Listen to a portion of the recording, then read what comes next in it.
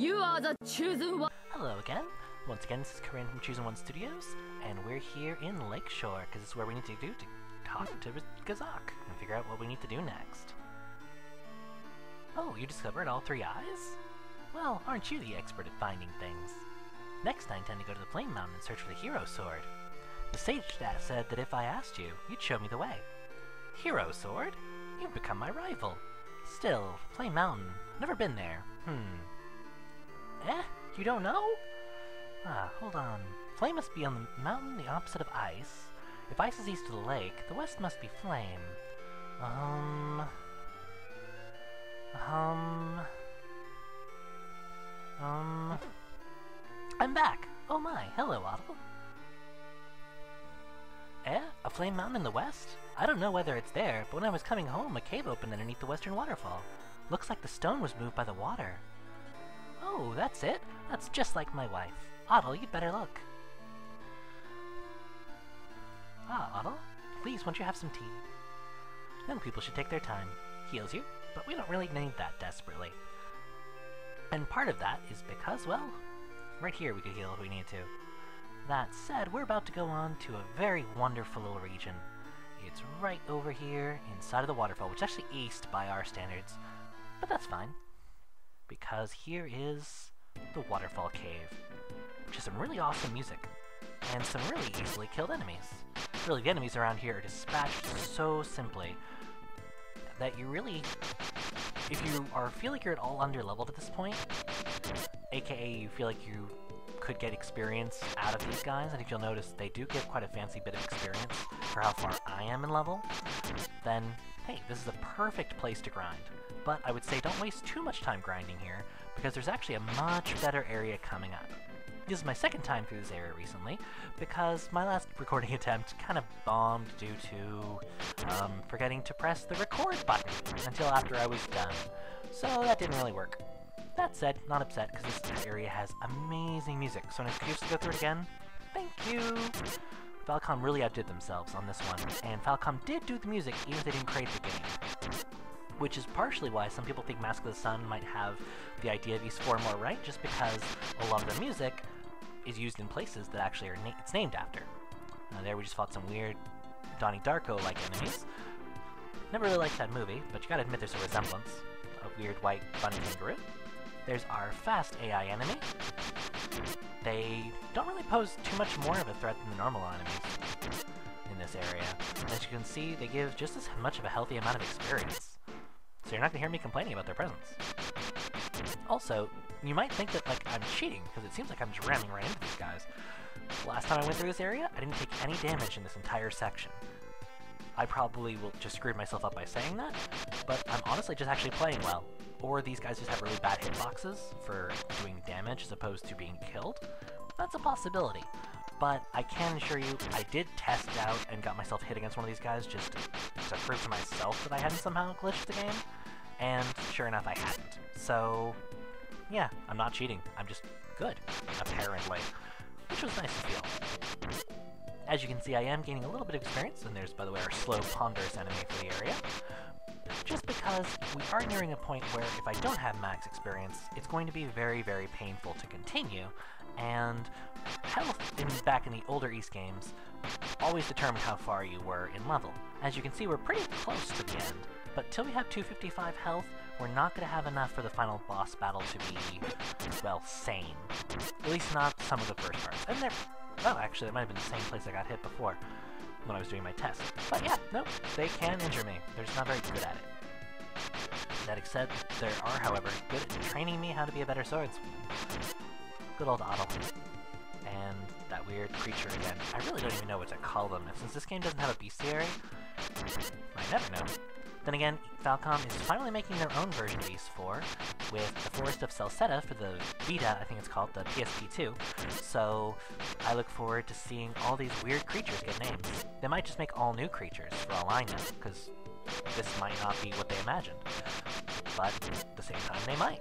I look forward to seeing what happens with that. That's part of why I got re-inspired to do this project, because someone's got to get this game out there, and I figured it should be me. Doing a good quality Let's Play of it. So, here we are. more of these golden guys. They do die faster when you come at them from a different angle, but they die all the same. Also, just lest you think that this is supposed to be the Mountain of Fire, nah, this is just how we get to the Mountain of Fire. The Mountain of Fire is on the other side. As right now, we're just crossing the lake. Which is impressively long lake. But then again, it is long enough to have a town named after it, so it makes sense. Gah. Oh well, I had a pretty good stride going. And here. This is the actual Fire Mountain. Good music too. And we see the enemy we'll be seeing for a majority of the Fire Mountain. These little flame guys. They do pretty good damage when they connect, but they also give pretty good experience when you connect, and that's going to be happening a lot more often. Since my power level has, is half decent at this point, by the way there's a fire pillar, much like the spikes, doesn't make any sense I can kill it, but I'm not going to debate it. All of this giving me enough experience to finally hit a level. And now we've gotten our hands on the nice ice shield. This will give us a nice little defense boost. Go over to shield, pumps us up by a lovely little six points. That's definitely good enough for me. Not good enough to be our final defense boost for the area, but just like how we got all the flame equipment in the ice temple, we're going to get all the ice equipment in the flame temple. Kinda weird how those things work, but in a way it makes sense. After all, if you seal something that's fire in the fire temple, well, they guess the reverse makes sense too. Just saying. That other enemy, by the way, looks like it should like it looks like some kind of maybe steam powered thing, or maybe it's just on fire, but for some reason it reminds me of a pig. That said, it's not really all that threatening of an enemy in itself.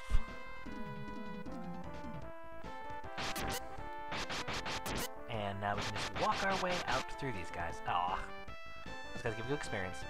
And that was our third type of enemy for this area. The lovely little lizard uh, knight. These guys all give great experience, by the way. So I recommend eh, hitting a level or two. And there's our second piece of equipment over there on the left. I love the eye motif, because it's definitely an eye. And now we've gotten the ice plate, it'll give us a nice defense increase. So before we got 6 points, and this is giving us another 8. Making a total of 14 points of defense increase just in here. You consider that out of 255, that's not bad. When you consider that it actually gives more, considering that's just in comparison to our old armor, it makes it even better. We have one last goodie to pick up here. But we're not quite there yet. And there's one of those lizards, and one of those weird steampunk pigs. I don't really know what to call them. All the same, all these things go down pretty nice and easy. This dungeon is really pretty quick, and most of my frustrations with the game don't really show up here. I mean, it's not the most interesting dungeon, and the combat is... Oh, here's an important spot. It's too hot, I can't go any further. And that's where we need to go to get this hero sword. So, what are we gonna do? Well, clearly we have to find something to fix that fire. I mean, that's no surprise. But what is going to fix that fire? Well, I already told you, but you can figure it out. Of things in these have to do with swords. But before we can get the sword, we must get the ruby jewel. Looks like the one from Ys 1, not Ys 2. And there's the ruby jewel. You can tell its purpose by where it sits. It sits over with the sapphire jewel and what used to be the topaz. Those are the items that increase our elemental sword's magic. We'll be checking those out later, but for now, we have more of these guys to kill, and we have to get across that, that impasse that we have. Because, well, frankly, if we don't get through, we're kind of not going to be able to proceed with the game, and I'm kind of in the mood of getting Ys 4 done. Not that it's an absolutely terrible game, but it's not very great, and I have many other games I'd like to show off. At the very least, I definitely want to get to these six eventually, because the Ark of Napishtim is amazing, and I'm thinking about doing Ys Origin 2 now it's finally translated. Great game. I kind of want to do something small between this and another Ys game, though, so if anyone has anything in mind, not a Mega Man game, though, really, I'm not really sure. Regardless, let me know. Uh, left that in the comments of the video that I already started uploading. Well, already uploaded. I waited before I started this. But now I have to be very careful, because these area, these little tiles do quite a bit of damage. Yeah, we don't want to step on those. That moon symbol is ominous, but no worries. It just leads us to a little place we can heal and get a nice little treat. Part of the reason we didn't want to grind before, because, well, besides the little bit you saw I did, otherwise there's nothing on either side. But right up here is a mask down there with a little moon symbol. Hmm. But the mask isn't there when we come down. Instead, we have gotten the Icewind Sword. A very nice little piece of equipment that'll boost up our offense to match our defense. Well, not quite match. But we go in there, and we check it out, and there we go. That's a 15 point offense increase. None too shabby for this game. So, now we're just going to carry back on, and we have a little bit more we really need to get done. Because we came here with a very specific purpose. We have to get ourselves a sword. Because a warrior desires a sword, ow, a sword desires truth. That's what Soul Calibur 2 taught me. Probably the only thing Soul Calibur 2 taught me, besides that Link is cheap. So as you can see now, we just tear through these enemies. They're just nothing compared to us anymore. But, that's not really the sword we came here for, which means that giving us this now is kind of silly, because you're about to give us a much better piece of equipment. Light from the Ice Sword! Ice for the Ice Sword, Blood for the Blood God, Bones for the Bone God, and Ground for the Ground-faring Owl whenever it wants to get around to it. No way to speed this up. It made a path. That it did. And now time for the most ridiculous non-boss in this game. The real trick is just to not let them surround you, but it's kind of hard to let them do that. I swear I haven't grinded levels except for the absolute barest minimum I needed. Watch the other videos. You saw I've gotten myself be beaten and buffeted around. But now the real reason we didn't grind yet, you'll see there's nothing over there, but...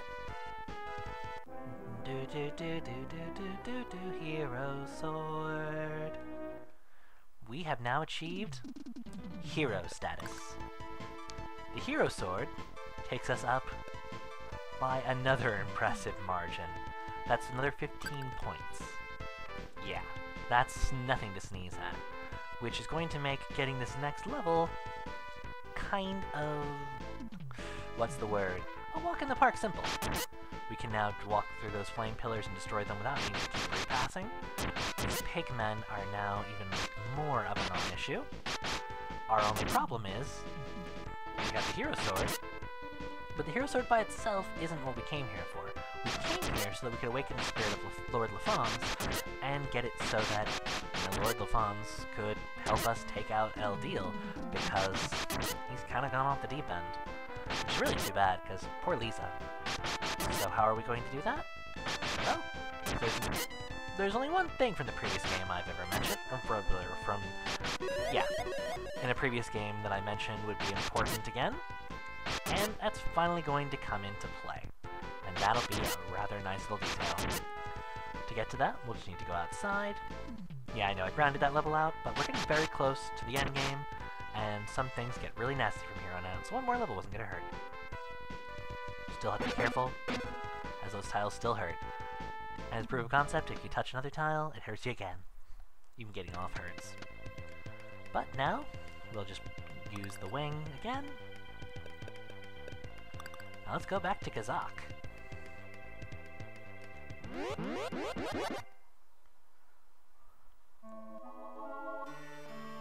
Ah, she'll heal us fully. Let's go up. Talk to Gazok. This is the Hero Sword. Incredible! I should make a discovery that won't be eclipsed by yours. Too bad you can't. Want to be Raba? Now let's have some tea. And you know what? A spot of tea sounds nice to me too. So before we talk to the Elder, that is a weird little glitch. before we talk to the Elder, I'm going to get myself a nice little spot of tea. Probably not tea, but something else similar. And then continue on. But for now, it's going to be the last upload for today, so thank you all for watching. I hope you've been enjoying, and I hope you have an absolutely wonderful day.